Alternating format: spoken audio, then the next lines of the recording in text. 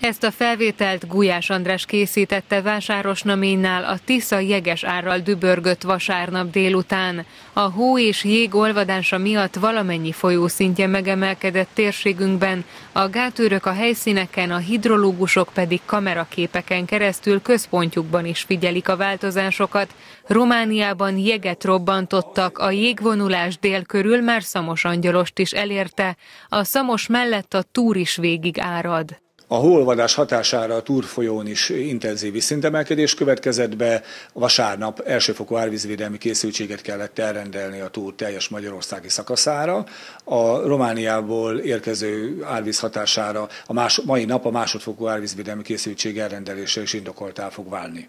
Ezek a felvételek Ukrajnában készültek, vannak olyan települések, ahol még mindig a hó és a jég az úr. Az olvadás azonban ott is elkezdődött, lakóházak áztak fel, sok pincében pedig áll a víz.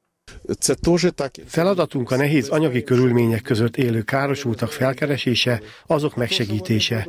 Akik egyedül nem boldogulnak a helyzet megoldásával, segítséget nyújtunk számukra. Továbbá fel kell mérnünk a sérült gátak számát, mely után a miniszteri kabinethez fordulunk segítségért, hiszen a gátak helyreállítása jelentős összegbe kerül, és ezt sajnos sem a megyei, sem a járási költségvetés nem tudja finanszírozni.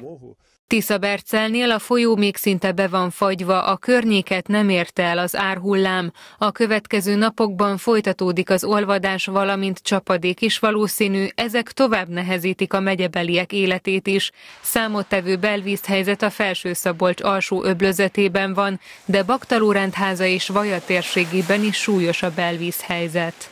Nagyon nehéz itt a helyzet Vaján, látszik a túloldalt is, az árkok teli vannak vízzel, hát nem tudom, ez a belvíz, a kertek teli vannak vízzel, hogy mi lesz itten, azt nem tudom. A vajai Dobos Attila a háza előtti árkot tisztítja, az olvadás ezt is eldugította.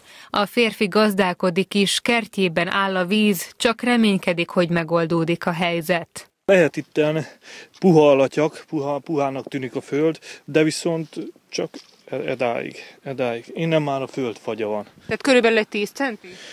Hát még annyi se. Még annyi se. Még annyi se. Egy ilyen három, max. három. Most hiába puha a föld, csúszkálunk itt jobbra-balra, de nem nyeri el a vizet. Nem, nyel, nem nyeli el a vizet a föld. A tavaszi munkálatokat hamarosan megkezdenék a gazdák, ám a sáros vagy éppen víz alatti földek még nem alkalmasak az előkészítésre.